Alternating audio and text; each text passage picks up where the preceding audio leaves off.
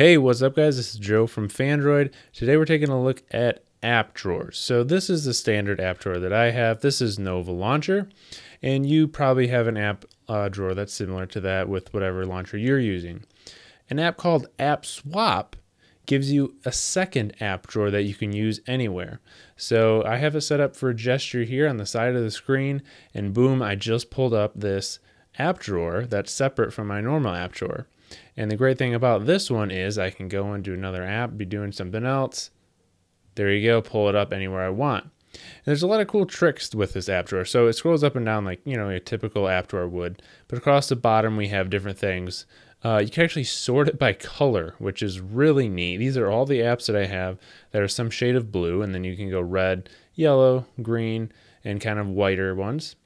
You can also bring up a number pad to search by numbers or a keyboard to search by letters. So there you go. And that's really just getting into the tip of the iceberg of what this app can do.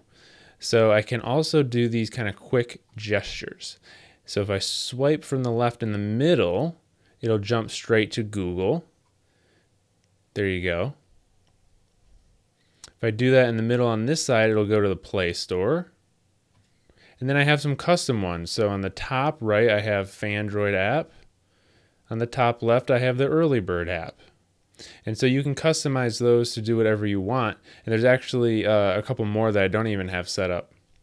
Then the other thing you can do is use tags. So if I go into the menu here, it's pre-filled a bunch of tags. I have not set any of these up myself. So I go into the game, it automatically figured out what games I have on my phone and organize them.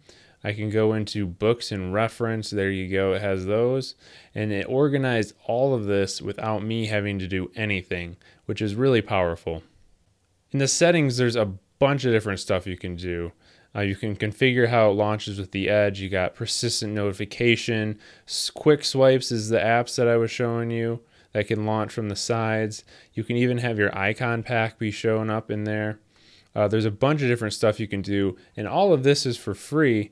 You can unlock some more if you want, uh, but really, this is a, a super powerful app drawer if you're looking for something a little bit more than the default app drawer that you have.